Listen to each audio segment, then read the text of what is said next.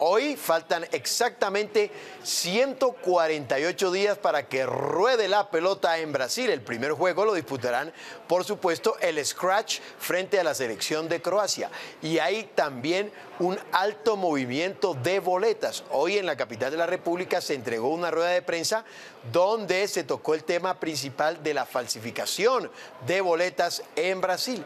Para hablar de ese tema está el señor Freddy Naranjo. A ver, don Freddy, ¿qué pasa? Y cómo va el tema de la boletería para Brasil. Hola, ¿qué tal? Buenas tardes. Así es, en efecto, la Federación Colombiana de Fútbol, la FIFA y la Superintendencia de Industria y Comercio firmaron un convenio para que los colombianos identifiquen de qué manera pueden adquirir boletería para el Mundial de Fútbol Brasil 2014 de manera legal. Y precisamente me acompaña el Superintendente de Industria y Comercio, el doctor Felipe Robledo. Eh, ¿Cuál es la disposición que en el día de hoy se ha anunciado, doctor? Pues mire, la Federación Colombiana de Fútbol, la FIFA y la Superintendencia de Industria y Comercio están muy preocupados con posibles engaños a los consumidores colombianos en relación con la adquisición de las boletas para el Mundial de Fútbol Brasil 2014. Lo primero que hemos hecho es explicar cuáles son los mecanismos legítimos para la adquisición de esas boletas a través de la página web de la FIFA y a través de eh, empresas autorizadas por la FIFA, que en Colombia es OSA y Asociados y Tesoro Tours.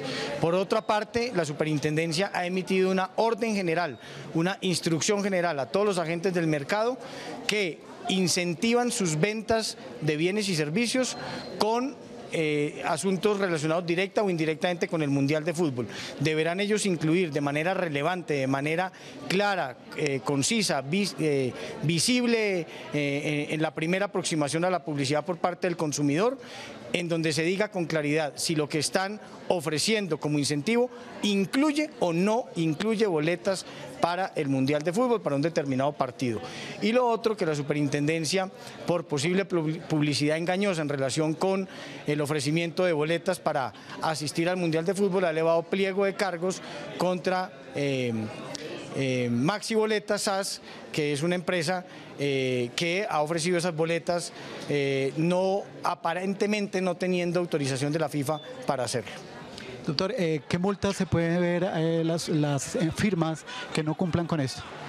Mire, por cualquier acto de publicidad engañosa hasta 2.000 salarios mínimos legales mensuales. Pero lo más importante, por esa sola omisión, por no poner que incluye o por no poner que no incluye, será sancionado hasta con 2.000 salarios mínimos legales mensuales, 1.200 millones de pesos. Muchísimas gracias al doctor Robledo. Entonces queda claro solamente a través de la página de la FIFA y a través de dos agencias autorizadas que además incluyen otros valores agregados. Información que se origina desde el centro de la ciudad, Freddy Naranjo, Noticias Capital.